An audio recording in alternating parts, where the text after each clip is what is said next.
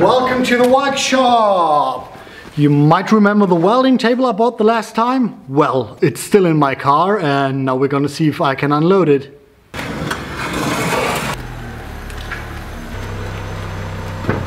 It's just great to have a workshop big enough to drive in with your entire vehicle. Look what we got there. So the current plan is to drag this thing out, lift it on that table.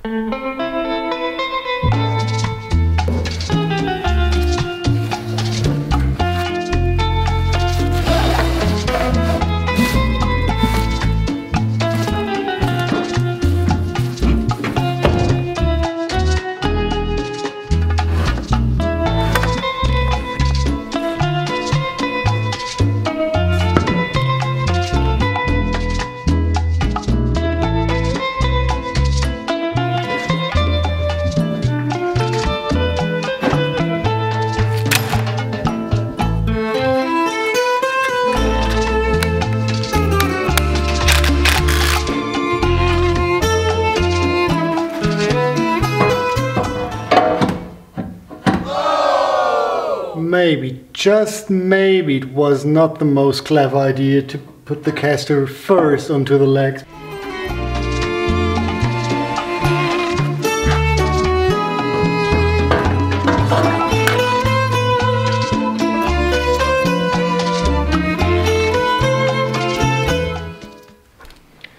The second leg is installed. I'm about to remove the table. And for this purpose, I put my spacer wooden blocks underneath the big 2x4s